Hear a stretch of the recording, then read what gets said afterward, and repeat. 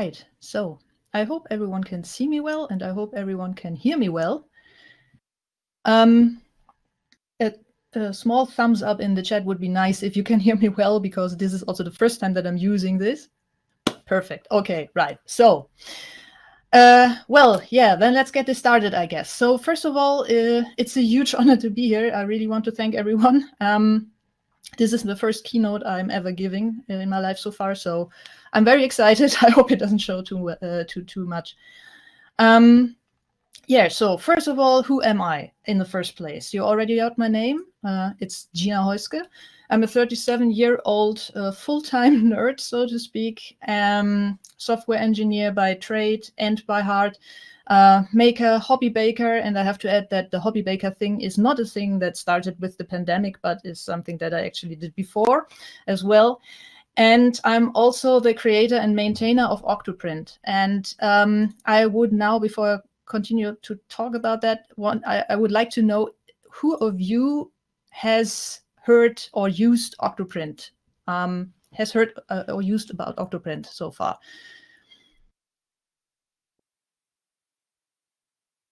So I'm going to give this some quick time. But yeah, it looks like the majority has not heard or used it so far. Heard about or used it so far. Well, English in the morning is tricky.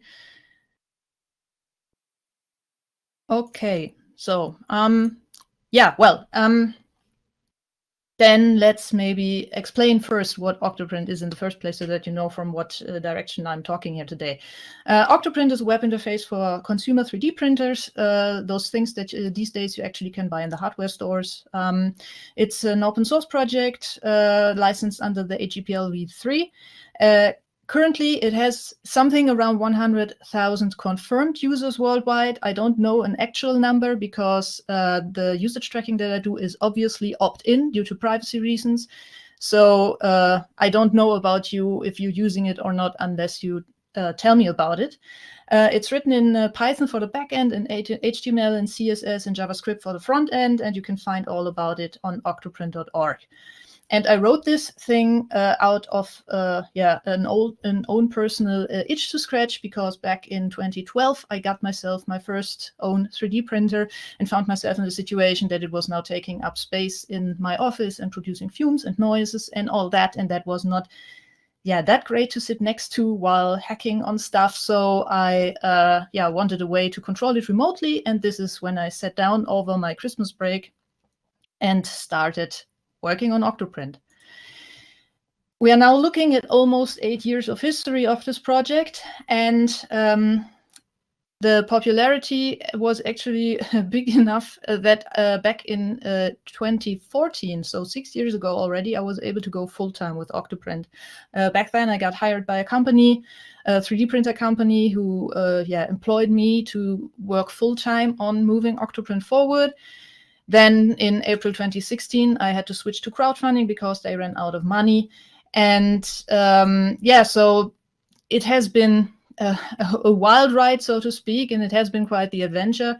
Uh, over the course of uh, all these eight years, you see there have been a lot of releases, which are these little, um, yeah, green markers there. Uh, there have has been a lot of improvement around Octo uh, around the the the um, yeah the the infrastructure and all that. And um, yeah, so it's it has been really an exciting time. And I learned a lot about uh, things in the meantime. And um, uh, yeah, I want to talk to today a bit about um, yeah about the experiences that I had, or rather the the lessons that I took from them. So what it is like, what it is like to run an, an open source project for eight years uh, of your life, um, six of those full time, and um, also how it is to run an, uh, an end user facing piece of software for so long because yeah octoprint is actually more uh, targeting your your run of the mill 3d printer user. And those are not necessarily developers. And i'll also talk about that a bit later and what that means for uh, what what indications that has. So um, yeah, and, and I'm going to talk about um, the good, the bad, and the ugly that I experienced. So uh, let's dive right in, I guess, and start with the good. Um,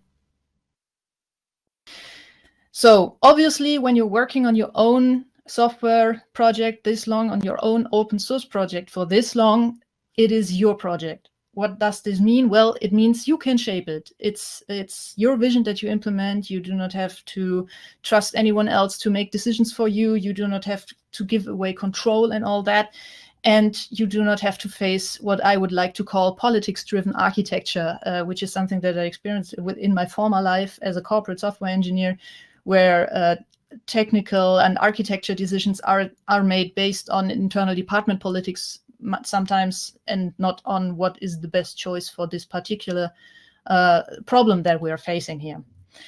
And also very important, obviously, is you work on something that you'd uh, you, you work on something that you actually use yourself and that you enjoy using yourself. And I have right next to me here, I have like two printers that are uh, that would be up and running if I was not giving this talk right now. I also have a laser cutter back there that runs the Octoprint as well. And yeah, so I use my own software daily uh, or more or less daily. And this is a really, really great feeling. And uh, this is something that makes working on an open source project, even for that long, uh, very, very enjoyable. Another thing that makes it very, very enjoyable is the fact that you help people. So this is also something that I really, really enjoy and that I've come to cherish as, as, as, a, as a really important part of my day-to-day life um, is um, people have problems and you you you you help them. You have them help them solve their problems. You enable them to overcome their problems by providing them with a solution. And sometimes they even say thank you. Uh, you I, I get the occasional email here and there or just a tweet in the morning or something like that that just says thank you. And that that makes yeah all of the bad and ugly we will be talking about later uh, so much worth it um, I I have gotten a lot of feedback over the years, and and, and one of the most funny ones that I ever got was a, a, a, a guy who messaged me and told me that I saved his marriage because. Um, he was spending so much time with his printer in his garage all the time because he had to babysit it basically and the wife and the kids were not amused and then he installed octoprint and then he could get back uh, into spending time with them and just sneakily keeping an eye on his print uh, while while doing that. So yay. That's not something you hear every uh, every day, and uh, especially not in, in, in non-open source work, I think. Right. And um, another thing that is very, very dear to my heart and a, a, huge advantage of working on an open source project for this long, or even just working on open source in general, is you learn tons of new stuff. So I'm not just talking about software development itself. Obviously, my coding skills have increased ever since I started working on Octoprint. I constantly learn new libraries. I constantly learn new tricks up my sleeve. Uh, I learn more Python. I get more uh, uh, more proficient in this stuff. Uh, but uh, when you run a project like this, you also need to learn about project management. Uh, you need to learn about community management and how to manage your community's expectations, how to give them a forum, a platform to exchange things, exchange ideas, exchange uh, solutions, help each other, stuff like this. You have to learn about release management. So uh, it's not just that you throw code in a Git repository and people then pull it in and everything is fine and dandy and works. But at some point, you will realize at some yeah at some after some growth of your project you really need to put out stable reliable builds that you can reproduce and stuff like this so yeah that is uh, that is all that comes with uh, running such an open source project and uh, talking about release management, you also learn the value of release candidates when you suddenly find yourself a, on a Saturday morning trying to frantically uh, fix a bug in the stable release you pushed out on Friday. Um, and you also learn how how bloody tricky it can be to get people to actually run release candidates which comes back to community management where you need to try to incentivize people to help you run the project because you can't do everything on your own. And yeah in case of octoprint there was also a bit of brand development involved. So i need a funny a funny little logo. I need some corporate identity and all that so that things get re- recognizable. So yeah, you learn not only about software development when you run such an uh, such a project, and I have to say that I really enjoy that. Um, if you like learning, running an open source project is like a full full overdose of learning. But as I already hinted at, um, yeah, it's not all fine and dandy, sadly. Um, there are also some bad things that uh, you will have to face when doing this. Um, one obvious big point, uh, probably for most of you, is uh, the work-life balance situation. Uh, especially if you run a project like Octoprint or even something smaller um, as a side project next to your own full-time job, it can become a bit much. It can become really hard to shut off and recharge. Um, and you really need to learn to be very protective of your private time. For example, with Octoprint, uh, you saw on the on the on the on the timeline, um, the first two years almost I did it next to my own full-time job. So after 40 hours per week of regular work, I then had to, uh, I then also tried to shoulder everything that I had to do with Octoprint during my after hours, so right after work, on the weekends, during vacation. And not only was that something that friends and family did not find particularly funny after a while, but I also noticed it. So I noticed an, an, a negative impact on my health and on my motivation as well. And so this is something that you need to always keep an eye out in my personal experience because no one else will. And um, yeah, you need to take breaks. You need to make sure that you do not spend all your time, uh, all your waking time in front of a PC and code away on your on your pet project or on your full time project. Um, it it will break you long term. So if you can do that for a while, but you should have a plan B in order to get away from this mode. Um, and uh, another bad thing, sadly, is pay no one likes to talk about money, but we like having it in order to be able to pay our bills. And um, yeah, asking for donations on an open source project uh, is is still a bit tough. You it always feels a bit weird. So here's something for free, but also please give me money. Don't ask me what that was, what what kind of discussion that was with my tax consultant. Um, and it also usually doesn't scale. So usually what you get um, when you ask for donations on an open source project will not be enough to pay the rent. Uh, it's it's more like beer money, uh, as some people would call it. And um, thankfully, uh, I found that um, yeah, with Octoprint, I, I faced this situation back in 2016 that I had to go donation based and, and, and crowd funded full time. And um, I realized that if you really make it transparent how much work an open source project can be and how much work you're actually putting in, how much of yourself you're pouring in, so to speak, and if you have a, a somewhat stable uh, user base, then it can actually work. And in my case, so far, it is working.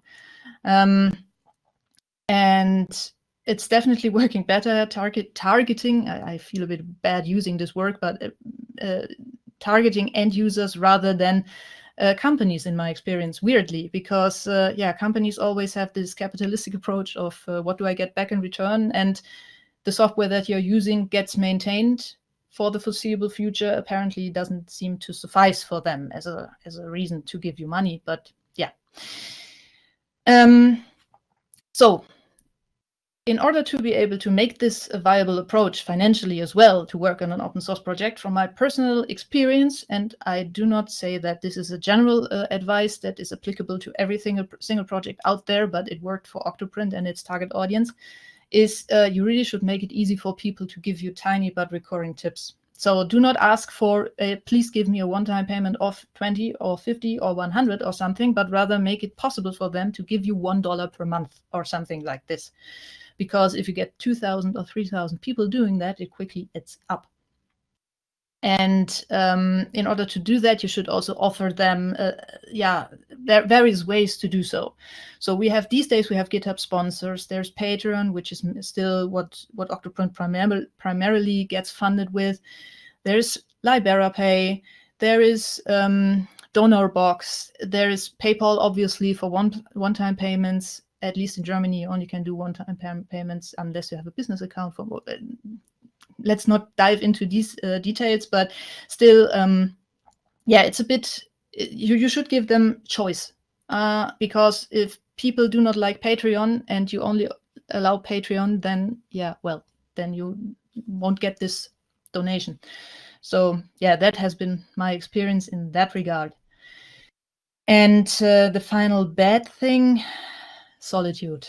Um, especially at the start of your project, you will be doing it alone. And in the case of Octoprint, funnily enough, I still mostly do it alone.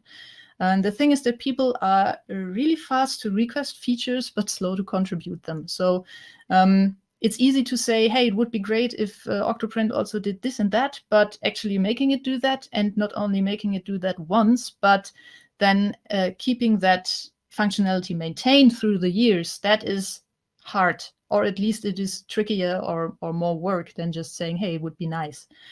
Um, and um, yeah, so uh, the, the thing is, um, from my personal experience is you should make it easy for people to help you, but without having to then maintain whatever they edit. So something like a plugin system can go a long, long way here. All right. And now, while we are talking about the bad things, let's go to the ugly things. And uh, yeah, there are sadly some um, entitlement attacks. Uh, this is something that I fear a lot of you have seen in the open source space. Uh, you have users that want something immediately done and who treat you a bit like your like their personal slave or something like this. People shaming you for pushing a release because it contained a bug uh, and yes, these are all things that I've actually heard. Um, people who outright insult you. And I do not want to talk, do not want to collect examples of all of this here. But uh, yeah, um, in, the problem is people like this can really ruin your day as an open source developer. And the important thing to, to remember here at all times is really, yes, those are vocal uh, and they can ruin your day. But the, the the the silent majority who is happy with using what you put out and who is grateful for what for the work you do is there. And they may be silent but they are definitely the majority. And this is just something that you have to keep in mind. And what you also have to keep in mind is in my opinion a lot of people will tell you well uh, this is just yeah this is just like it is in open source and you just have to grow a thick skin as a maintainer and i do not agree with this i have to say. I think we should just as maintainers we should say nope this is a boundary that i'm not allowing you to cross. And um, and um, the other thing that you might face is license violations. Some companies stealing your code and um, uh, and or you you just thinking that maybe some company stole your code. And um, yeah this is something that feels really really bad. I have not had definitely happened that i have not definitely sorry my english is just confused right now. I haven't definitely had that happen with octoprint so far but i've had some cases where i suspected that someone was using my software internally in their product without actually uh, adhering to the license and the the thing is i could have tried to to figure that out. I could have tried to track them into a legal battle over this got myself a lawyer pay the lawyer with the limited amount of funds that i get and all that and try to publicly shame them something like this. But if it's just a sneaky suspicion from my experience i'm not sure if it if it's always worth that. So what i'm trying to say here is choose your battles wisely. License violations suck license violations are something that are really fully against the nature of open source. But on the other hand, if you're a maintainer, if you're a lone maintainer, especially, then you cannot fight all the battles out there. So if you have the possibility to outsource this to something like gplviolations.org or something, I don't know, then maybe do that, but try not to get worked up too much about this as well from my personal experience. Usually it's simply not worth it because your product is still the popular one. And yeah, so.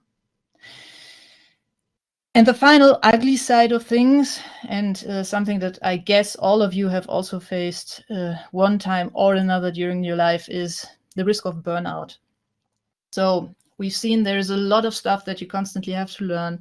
There's uh, quite a number of things that you have to worry about payment, uh, work life balance, and all of that. And on top of this, there are also the ugly sides of things uh, entitled users, personal attacks, insults that you have to face. Uh, GPL violations and uh, stuff like this, and that, yeah, that can really, really weigh down on you. Um, so burnout for open source maintainers is a real threat. And uh, I would be lying if I said I have not faced it in the past. And what I would really recommend here is if you do regular open source work, or just if you work in general, but especially if you do regular open source work, uh, really keep a close eye on your own mental health and your own physical health. Um, learn to spot warning signs of burning out, like increased apathy or irritability. In general, not feeling all there or feeling like everything sucks and all that, because yeah, this is a um, this can spiral out of control quickly, and you do not want that. You do not want to burn out on your open source project because, as we saw, it is a work of passion. It is something where you help people. It is something where you learn so much. So it would be a real pity if due to other factors, you burn out on it and cannot do it anymore. And for that, it is really important to know that um, you do not own anyone anything when you work on open source. You give away your work for free. Uh, you're helping people for free.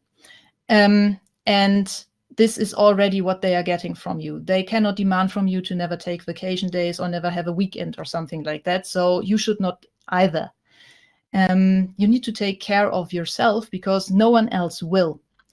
So uh, what is really, really important here is you need to le learn to say no as an open source maintainer. No to this feature, no to this bug report, and also no to this discussion yet again about a topic that you've talked about endlessly or just something that is currently not something that you have enough spoons to to tackle. And yeah, this, these are the ugly sides. The question, of course, is with all that that negativity that we just talked about, would I do it again? Would I go all this? Uh, would I do all this journey? Would I go on this adventure again? And the answer is a is an absolutely resounding yes. Um, it is a, a very very wild wild ride. I have learned so much. I have so many good memories thanks to working on Octoprint, and I'm still making new ones. Um, it is yeah, it is something that is very humbling, but the, at the same time also uh, uh, something that allows you for so much personal growth and also professional growth.